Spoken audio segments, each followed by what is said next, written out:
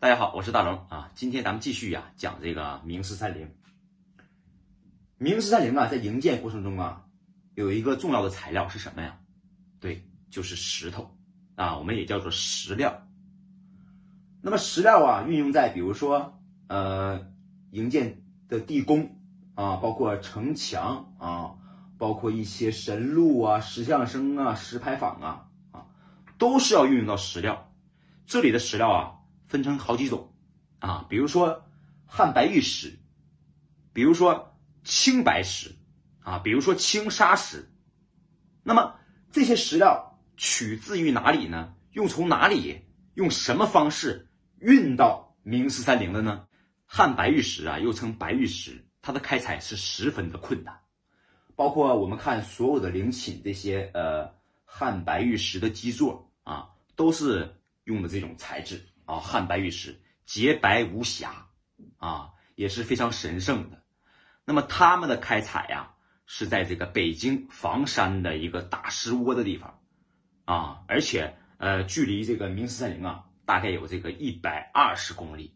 青白石啊，是稍次一点的石料，比如说用在这个呃神宫圣德碑啊，啊陵星门呐，啊石牌坊的台阶啊，那他们的采地呀。有的在北京房山，有的在北京顺义啊，这些石料啊，稍做这个呃汉白玉石啊，要稍微呃差一点啊。那么青砂石是什么呢？青砂石啊，比如说我们用在这个呃基座，就是柱础啊，包括一些呃两边的神厨库啊，一些神波炉啊，一些附属建筑啊，用的青砂石比较多。那他们的材质采地啊，也是。呃，相对于普通一点，因为这种石头会比较普遍啊，这是分等级的啊。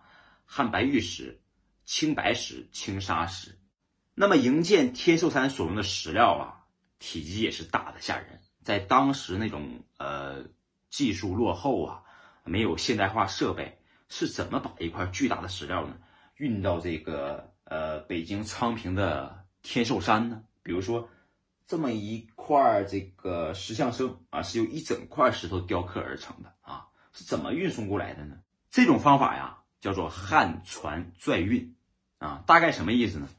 要先把这个路啊铺平啊，路铺平，然后呢，在路两边呢打上这个水井啊，趁着这个严冬之际呀，把水呀打出来啊，放到冰面上，让其水结冰，然后呢。再把这个旱船，就是一个呃船的这种形式啊，然后呢放到这个冰面上，由人工一点一点的拉，利用这个冰的这个呃摩擦力啊，呃相对要小一点，然后呢坠到这个明十三陵啊。